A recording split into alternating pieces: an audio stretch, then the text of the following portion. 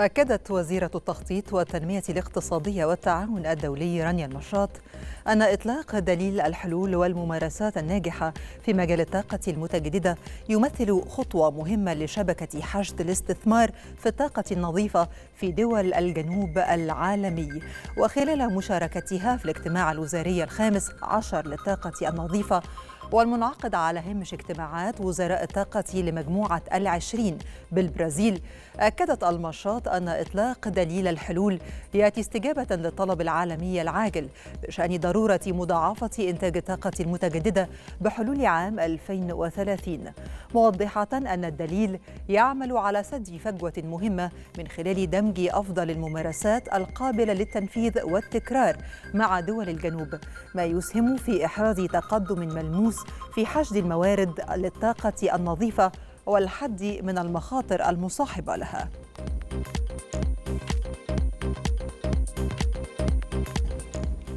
قام وزير الإسكان والمرافق والمجتمعات العمرانية شريف الشربيني بجولة موسعة لتفقد أعمال التطوير ورفع الكفاءة الجاري والمخطط تنفيذها بمركز مارينا العالمين السياحي. وشدد الشربيني على ضرورة الانتهاء من أعمال التطوير ورفع الكفاءة بمركز مارينا العالمين السياحي بنهاية مارس المقبل موجها بحسن استغلال المساحات الشاغرة وتعظيم الاستفادة منها لإتاحة المزيد من الوحدات الوحدات والغرف الفندقية لاستيعاب حجم الإقبال المتزايد من السياح من مختلف أنحاء العالم.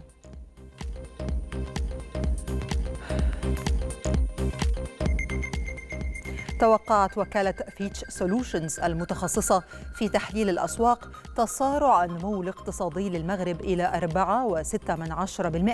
4.6% اعتبارا من العام المقبل 2025 وأشارت الوكالة إلى أن رياحا مواتية ستتضافر لمنح المغرب نموا اقتصاديا كبيرا في عام 2025 وفي مقدمتها تخفيض أسعار الفائدة والاستثمارات العمومية الكبيرة وتباطؤ التضخم واستضافت كأس الأمم الإفريقية وانتعاش النمو في أوروبا.